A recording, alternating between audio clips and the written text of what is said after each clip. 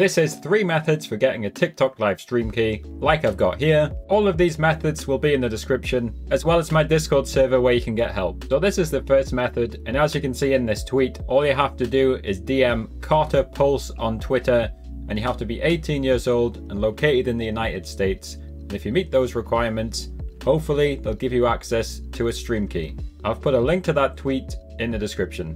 This is the second method for getting access. This is a Google form provided to us by Streamlabs. We don't know for sure whether this form works. I've heard mixed results. As with the previous method, I've put this in the description. And if you fill this out and get access, let us know in the comments. So the final method for getting access is simply keep grinding, stream a lot on TikTok from your phone, post a lot of videos, and especially if you're in the gaming niche, People who've been grinding out streams and grinding out videos have told me that they've gained access after a few months. So although it's frustrating, if the first two methods don't work for you, just keep growing on TikTok and hopefully TikTok will notice you and they'll give you access. Consider subscribing if you found this helpful. We're trying to get to a thousand subscribers to join the YouTube partner program. If you need any help or if you have any new information to share, then please join my Discord linked in the description. And thanks for watching.